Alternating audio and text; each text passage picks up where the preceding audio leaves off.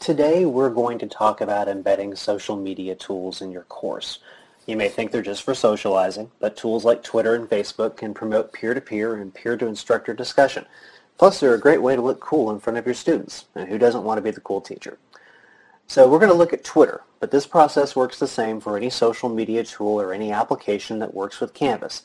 So once you've mastered this, you can use it to embed any application.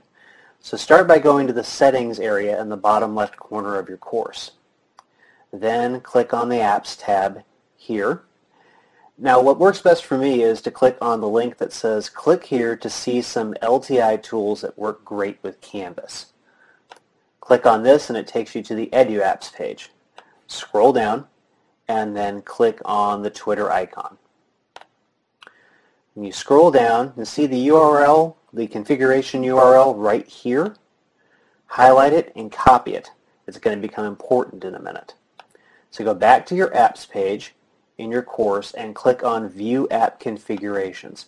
This is where you're going to find all the apps that are connected to your course.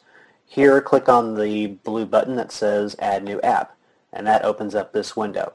So let's go ahead and name the app. We're going to call it Twitter. Now, this is a public application, so you don't need a consumer key or a secret key to get into it, but you do need to enter something in the consumer key area or Canvas isn't going to accept the app. So I'm going to put the number 1. Scroll down to configuration type, go to URL, and then paste in the configuration URL into the configuration URL window, and then click submit. And now you can see the Twitter uh, Twitter is now enabled in your course. So now you're configured, but what about that Twitter feed? Well, that's super easy to set up. First, you start a page in Canvas and put it in edit mode. See the uh, blue bird here in the rich text editor in edit mode? This means Twitter is configured. Click on the bird and you'll get a box that says embed Twitter results. So what's that? Well, this window is where we're going to put the code for the Twitter results for this page, but we do need to tell Twitter what to look for.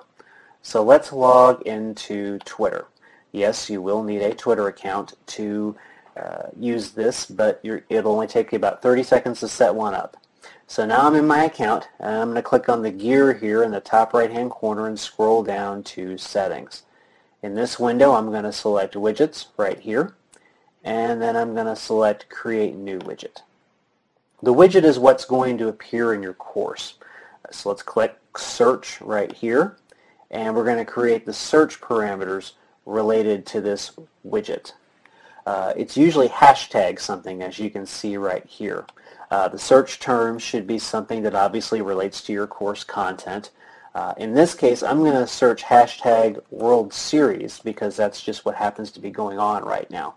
Uh, now you can see there are other options on this page, but the default options work just fine in Canvas. So once you're happy with the settings, you can click on Create Widget. See that code in the bottom right hand corner? That's our embed code. Highlight it and copy it. Then go back to your Canvas course and paste that embed Twitter code in your embed Twitter results box. Then click Add. And it's a big yellow box. Congratulations. Actually, no, what we need to do is we need to click on Save Changes. And once the page recycles, you have a Twitter feed based on the results you used in your hashtag. So that's it. Five minutes of work, and you're, you've now connected with your students in a meaningful way that communicates with them using a tool they already understand and use. That's our training for today. I look forward to the opportunity to work with you in future sessions.